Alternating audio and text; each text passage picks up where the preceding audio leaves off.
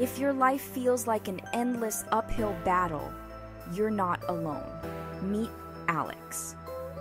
Alex grew up in poverty, often mocked and ridiculed by those around him. But he never let that dim his spirit.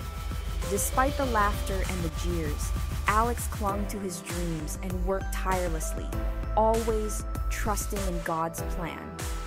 Every night, he'd pray for strength and guidance, believing that with faith and perseverance, he could overcome any obstacle.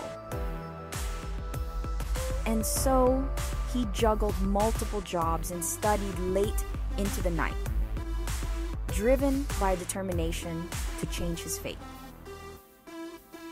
Years passed, and Alex's hard work and unwavering faith paid off.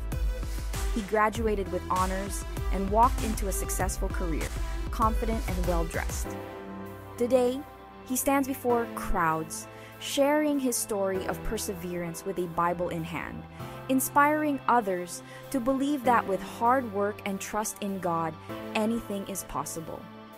Never give up on your dreams.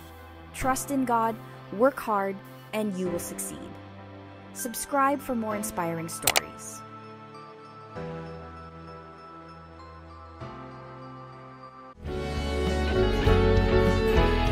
You have been watching Victory Broadcasting Network, bringing the Word of God to every nation.